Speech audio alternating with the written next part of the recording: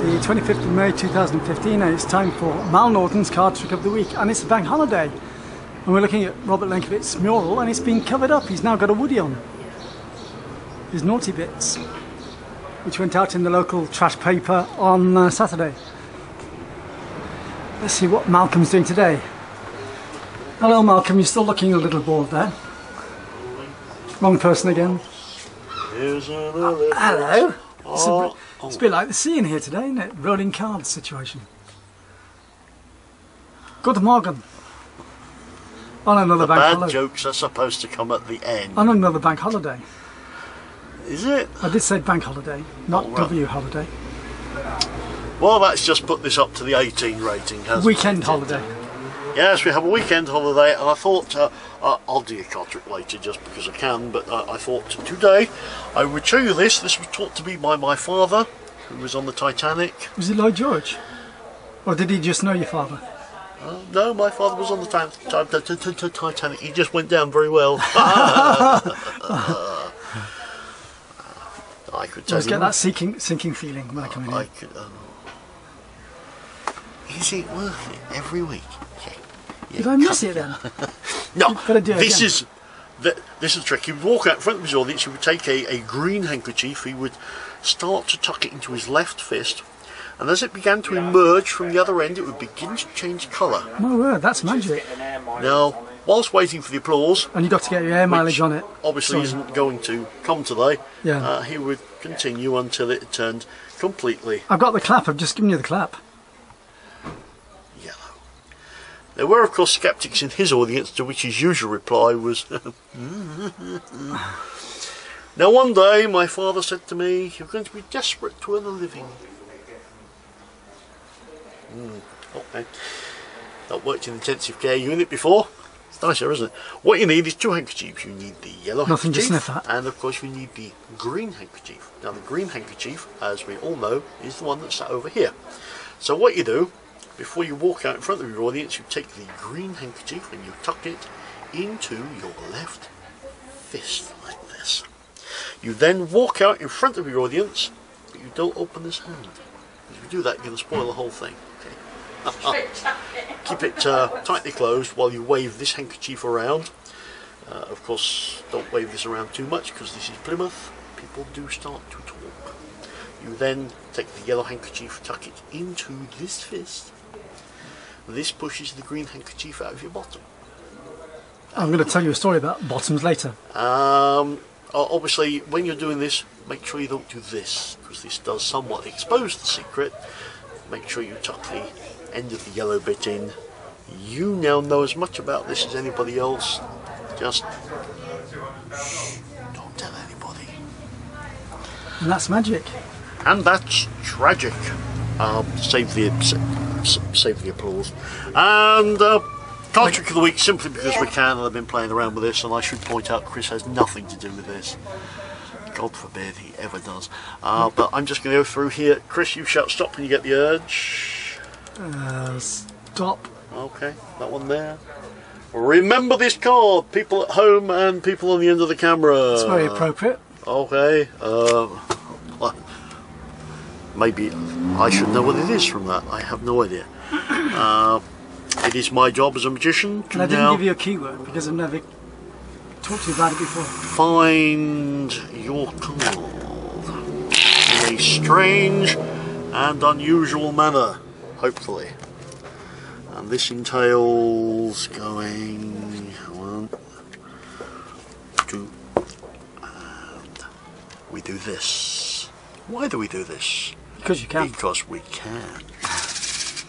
My word, that's clever. And what's that called? Showing off, or otherwise known as the smug git magician move. However, coming to the grand finale, hopefully we go round and round and round. And And that's the one, it's the Queen of Clubs. No, it's the Queen of Spades. The Queen of Spades, sorry, I don't know my card. She shows I don't know my cards at all. That's why we usually get them to sign it, but it's difficult. Easily catch me out. Talking about bottoms, why why is the UK obsessed with bottom? I don't know why is UK obsessed with bottom. because it keeps coming bottom at the Eurovision Song Contest. Yeah, that's just not funny, is it? Get out of here. Mm, thank you. Have a good have a good day.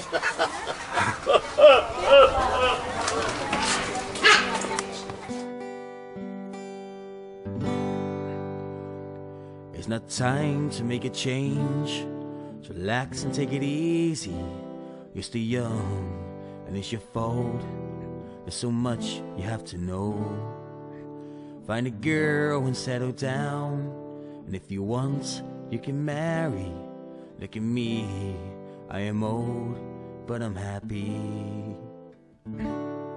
I was once like you are now, and I know that it's not easy to be calm when you found something going on. But take your time and think a lot. Think of everything you've got. For you will still be here tomorrow, but your dreams may not.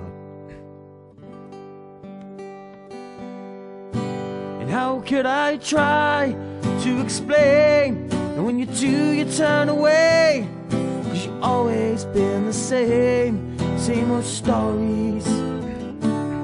And from the moment that I talked, and you ordered me to listen, there's no way that I know that I have to go away.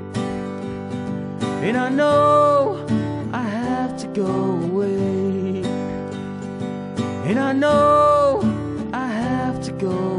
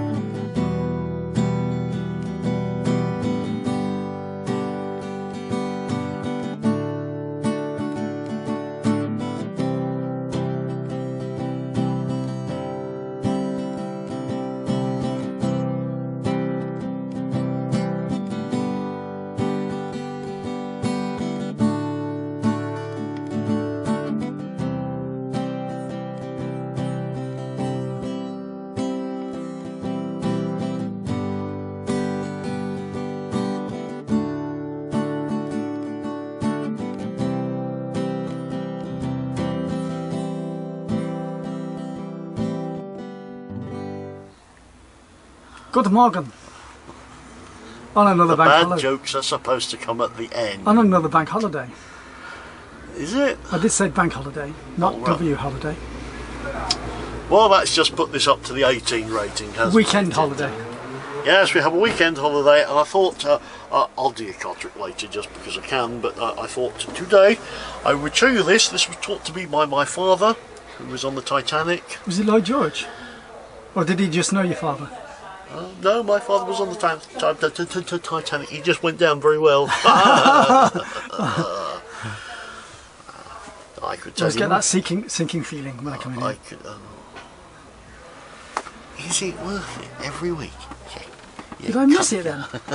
No, gotta do it this again. is th this is a trick. He would walk out in front of his audience. He would take a, a green handkerchief. He would start to tuck it into his left fist, and as it began to emerge from the other end, it would begin to change colour. My word, that's magic. Now, whilst waiting for the applause, And you got to get your air mileage on it. obviously Sorry. isn't going to come today, Yeah. uh, he would continue until it turned completely I've got the clap, I've just given you the clap.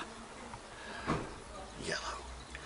There were, of course, sceptics in his audience, to which his usual reply was.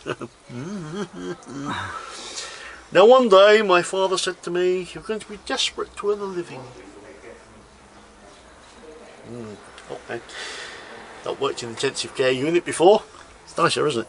What you need is two handkerchiefs. You need the yellow Nothing handkerchief, and of course, you need the green handkerchief. Now, the green handkerchief, as we all know, is the one that's sat over here. So, what you do before you walk out in front of your audience, you take the green handkerchief and you tuck it into your left fist like this. You then walk out in front of your audience, but you don't open this hand. If you do that, you're going to spoil the whole thing. Okay. Keep it uh, tightly closed while you wave this handkerchief around. Uh, of course, don't wave this around too much because this is Plymouth. People do start to talk. You then take the yellow handkerchief, tuck it into this fist. This pushes the green handkerchief out of your bottom. I'm going to tell you a story about bottoms later. Um, obviously, when you're doing this, make sure you don't do this.